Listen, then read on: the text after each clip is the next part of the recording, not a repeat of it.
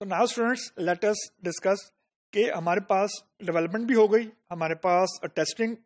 के life cycle जो plan थे, वो कंप्लीट हो गए। Now the critical part is कि we have to release a product अब जब हम ये कहते हैं कि हमने हमने प्रोडक्ट को रिलीज़ करना है तो लॉजिकल क्वेश्चन ये है कि कि what I mean what we will be doing in the release product जब हम कहते हैं कि हमने प्रोडक्ट को प्रोडक्शन के लिए रिलीज़ करना है या क्लाइंट साइड पर रिलीज़ करना है तो एक्चुअली क्या स्टेप्स होंगे? This is where your release notes comes in ना what is release notes release notes के अंदर आई मीन इसके मल्टीपल सेक्शन होते हैं uh, जो इसका ओवरऑल ऑब्जेक्टिव है। इसका overall objective from the client side ये है कि ये सबसे पहले तो क्लाइंट को ये बताता है कि how to use the product sort of a manual लेकिन खाली मैनुअल रिलीज़ नोट्स नहीं होता। ये ये you have to make a distinction release notes is not a user manual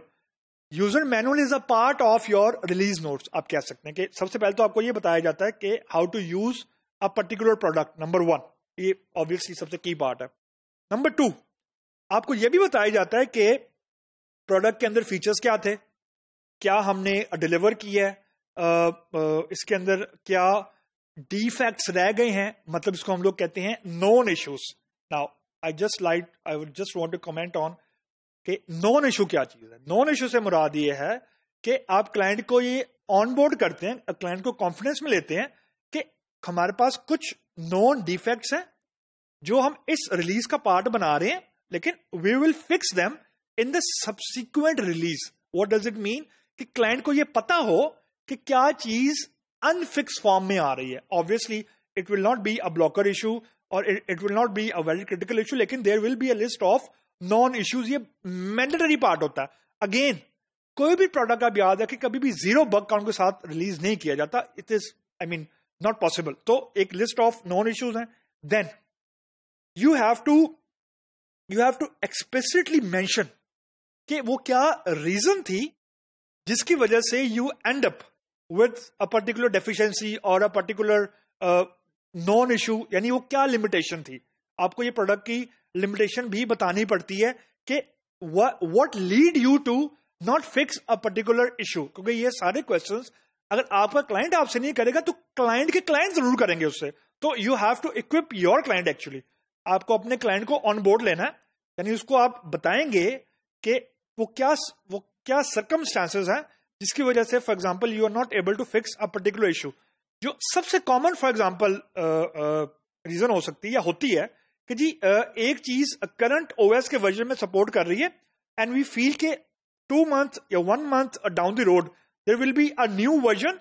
जिसके अंदर जो एग्जिस्टिंग डेवलपमेंट के कुछ फीचर्स होंगे वो नए वर्जन में नहीं चलेंगे। क्योंकि अमूमन जब कोई नया ओएस का वर्जन आता है तो उसके पहले कुछ रिलीज़ नोट्स ओएस के रिलीज़ नोट्स या उसकी कोई डॉक्यूमेंटेशन आना शुरू हो जाती है तो जो सीनियर टेक्निकल टीम होते they they usually start reviewing that release notes for for example from OS तो दे कैन आइडेंटिफाई कि कौन सा फीचर अपग्रेडेशन मांगेगा जब ओएस का नया वर्जन आएगा। सो so, इस और ये बड़ा कॉमन रीजन है लिस्ट ऑफ़ नोन इश्यूज़ के लिए कि हो सकता है कि कंपैटिबिलिटी इशू आ जाए। फॉर एग्ज़ाम्पल ब्राउज़र का नया वर्जन आया है जिसमें एग्जिस्टिंग फीचर्स यानी कुछ फीचर्स हैं वो नए वर्जन में नहीं चलेंगे। You know this thing up front so there is no need invest your effort in the existing browser and you have to convince the client in to it then अमूमन client का confidence gain करने के लिए you have to share the testing road map ये बड़ी critical चीज़ मैं आपसे कहने लगा हूँ। वट डज इट मीन के खाली क्यू ए शोर्ट अगर हम प्रोडक्ट को लिख देंगे दैट इज़ एनफ लेकिन आपको क्लाइंट को यह बताना पड़ता है कि to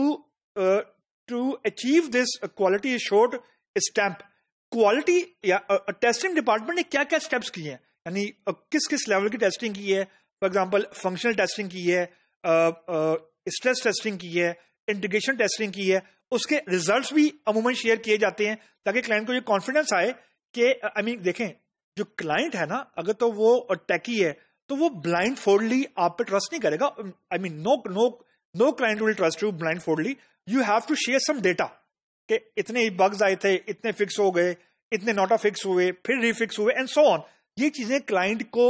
का कॉन्फिडेंस गेन uh, करने में आपको हेल्प करती हैं। दिस ऑल्सो इंडिकेट कि आपके पास इंटरनल प्रोसेस मौजूद हैं जो कि प्रोडक्ट की क्वालिटी को इंश्योर कर रहे हैं। यानी देखने में ये लगता है कि अगर हम क्लाइंट के साथ ये डेटा या ये रिजल्ट्स शेयर करेंगे तो उसका फॉल बैक होगा। सीमिंगली ये लगता है लेकिन इसका जो पॉजिटिव इम्पैक्ट है वो ये है कि क्लाइंट को ये कॉन्फिडेंस आता है कि the company is having a mature internal quality management process जिसकी वजह से जो जो बगी कोड है या जो बगी फीचर्स हैं, वो मार्केट में नहीं लॉन्च हो रहे, या मार्केट में वो नहीं आने दे रहे। तो ये एक बड़ा इंपॉर्टेंट चीज़ है कि आप आप क्लाइंट के साथ जो जो टेस्टिंग का रोड मैप है एक्सप्लिसिटली शेयर करें।